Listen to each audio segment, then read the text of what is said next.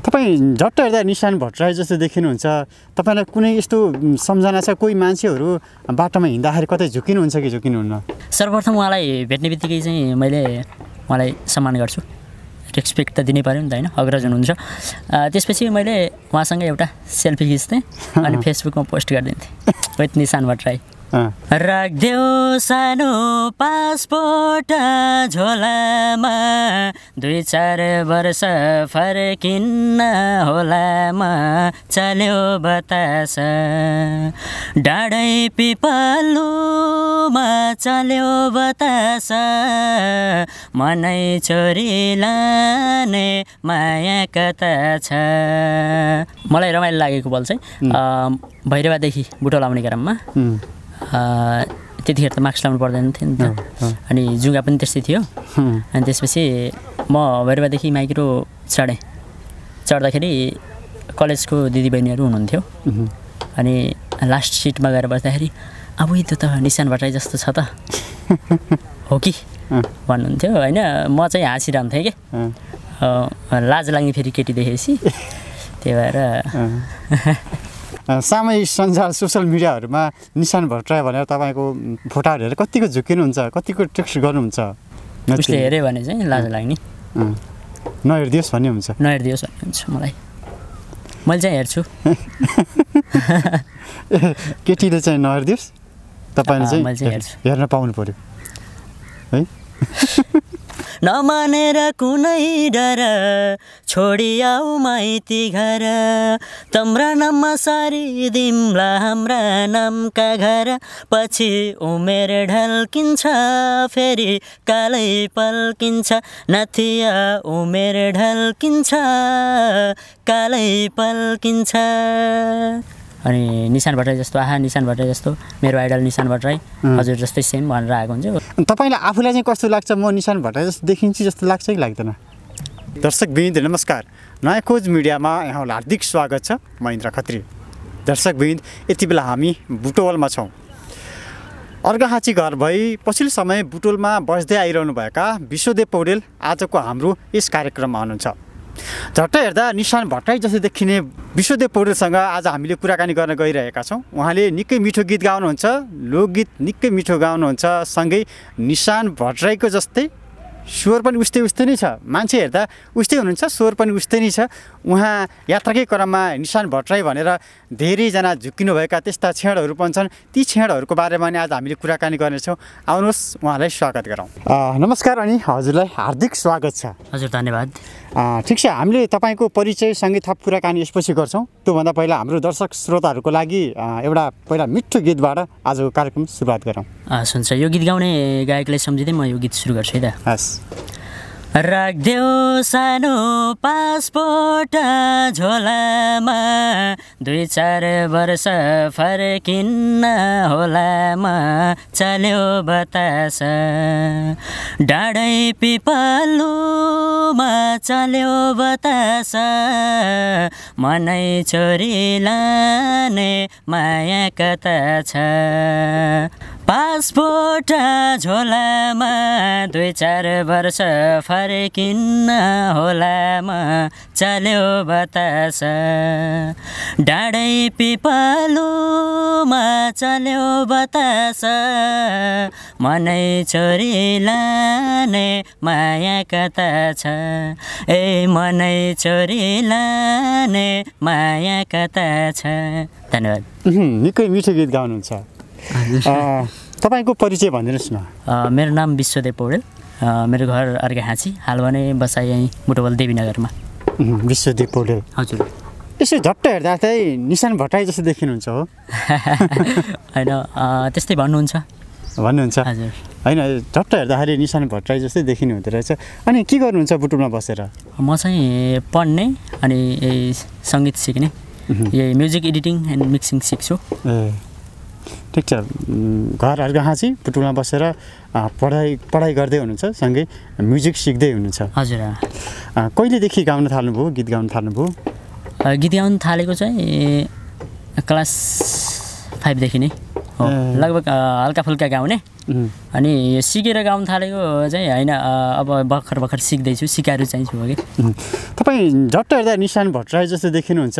तपाईँलाई कुनै यस्तो सम्झना छ? कोही मान्छेहरू बाटोमा हिँड्दाखेरि कतै झुकिनुहुन्छ कि झुकिनुहुन्न?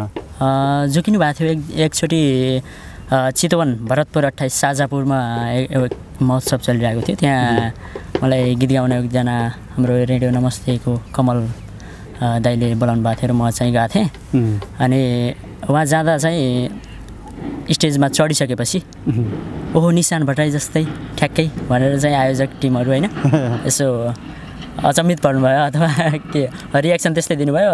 मलाई पनि खुसी लाग्यो। अब अहिले उतिखेर चलिरहेको चाहिँ निशान भट्टराई हुनुहुन्थ्यो नि त बजारमा होइन? जता हेरे पनि निशान भट्टराई निशान भट्टराई थियो। मलाई पनि खुसी लागिरहेको थियो कि? अनि तर आधुनिक गीत गाउन नजाने पनि। निशान भट्टराई जस्तै चाहिँ देखिन्छु अरे। थियो तपाईँको जुङ्गा तपाईँको हेयर स्टाइल पनि त्यस्तै त्यस्तै नै हुँदो रहेछ।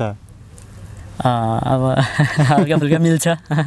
निशान भट्टराईलाई भेट्नु भएको छ? नै भेटाएको छैन आजसम्म तपाईँलाई आफूलाई चाहिँ कस्तो लाग्छ? म निशान भट्टराई जस्तो देखिन्छु जस्तो लाग्छ कि लाग्दैन? नै मलाई त लाग्दैन त्यस्तो। लाग्दैन। तर अरूले भन्नुहुन्छ जे होस् खुसी लाग्छ। है? हजुर। ठिक छ हामी गीत सुनौँ।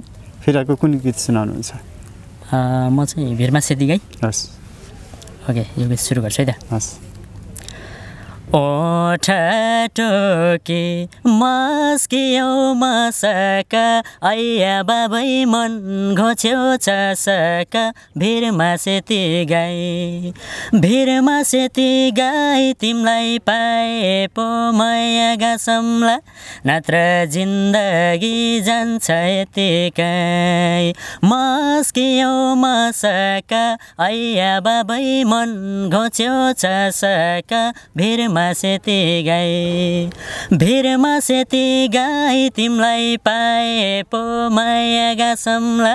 नत्र जिन्दगी जान्छ यतिकै नत्र जिन्दगी जान्छ यतिकै। कसलाई पाए पा हो माया गाँस्ने? होइन नि यो गीतमा मात्रै हो।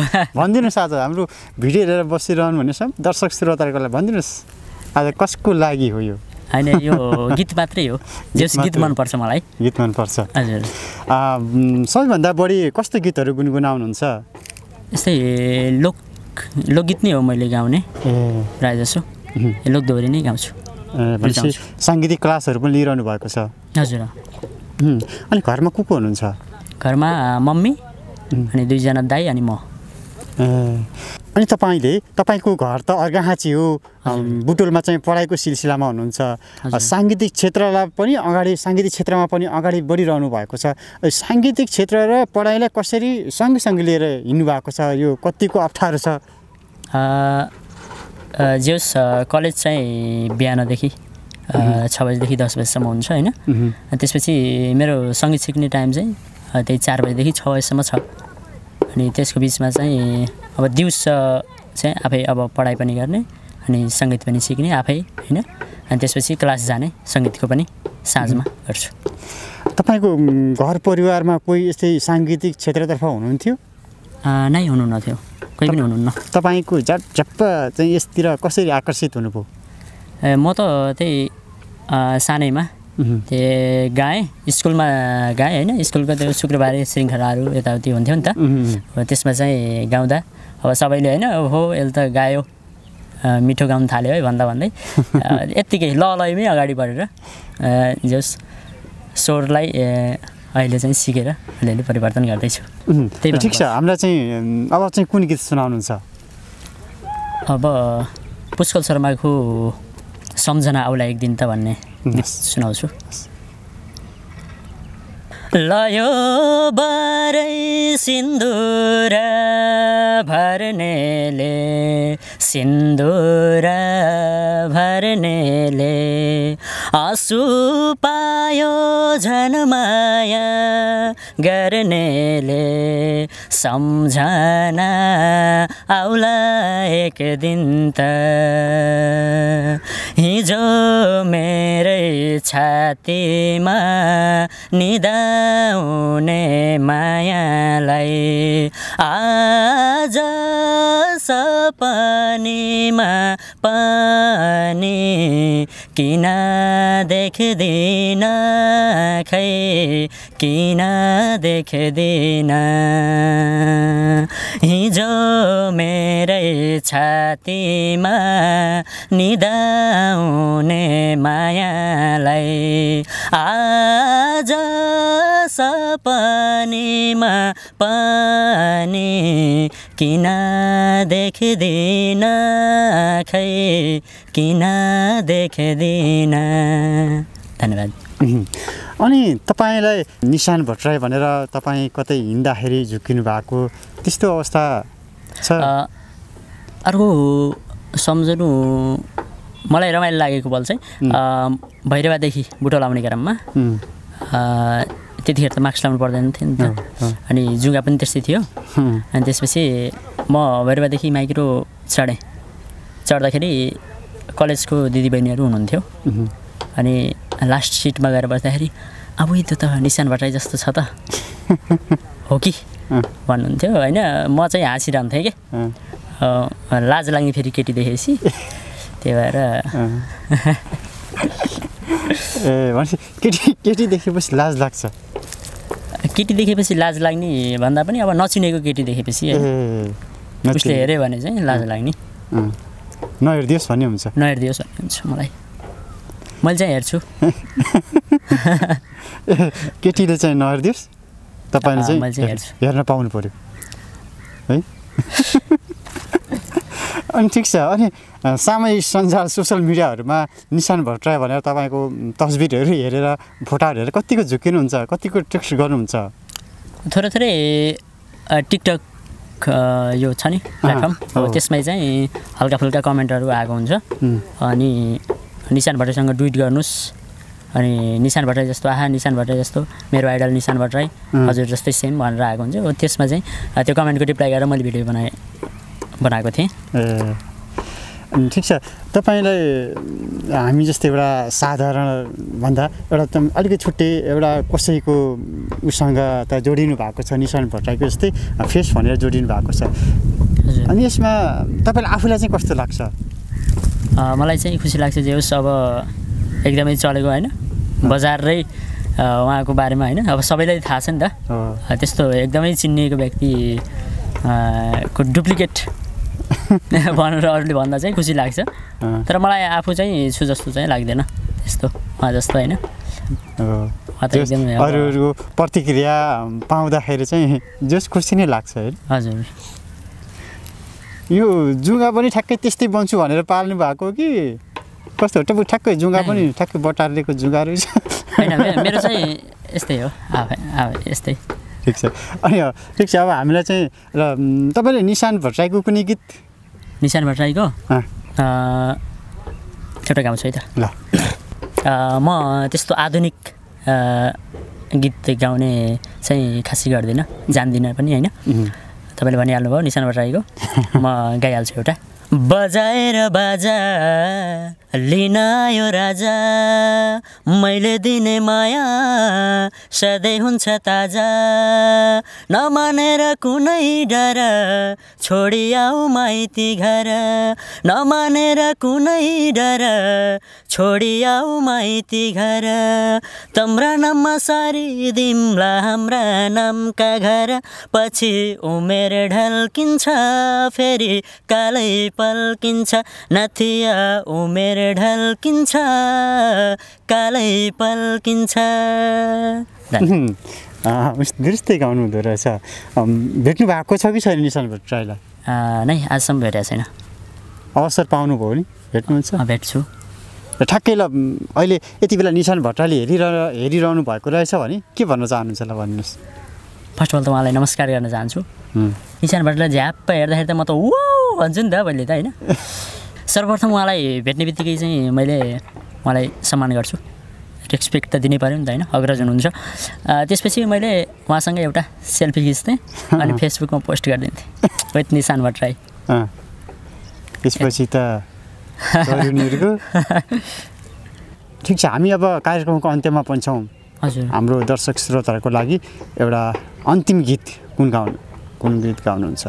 दुई मुटुलाई जोड्ने पुल बन्देऊ है।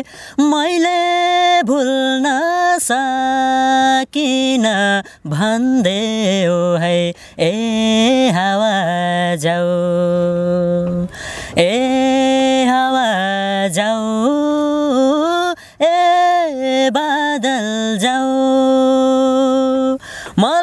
सम्झिरहेछिन् कि बिरानो पो भइछिन् मेरी प्रियसीको खबर लिएर जोड्ने पुल बन्देऊ है मैले भुल्न सकिन भन्देऊ है ए हावा जाऊ। ए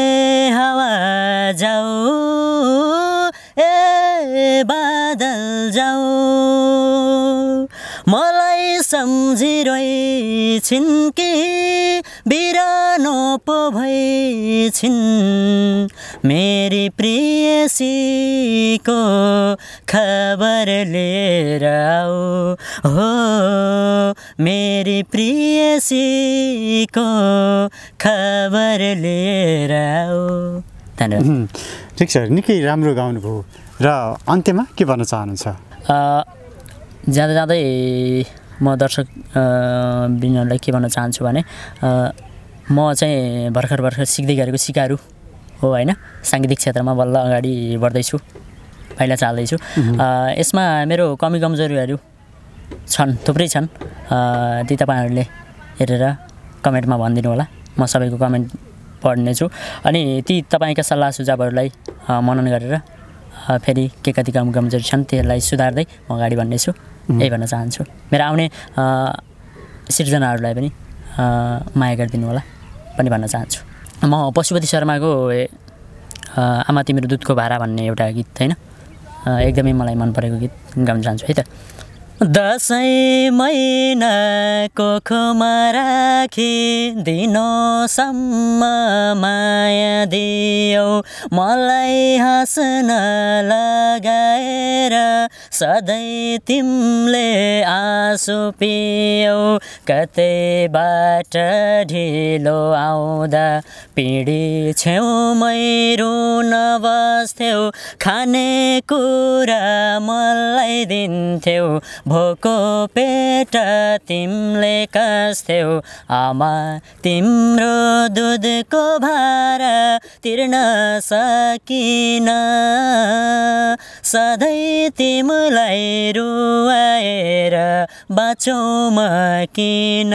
हे आमा सधैँ तिमीलाई रुवाएर बाँचौँ म किन? थ्याङ्क यू निकै मिठो गीत गाउनुभयो। योसँगै आजको लागि हामी छुट्टिन्छौँ हस् नमस्कार।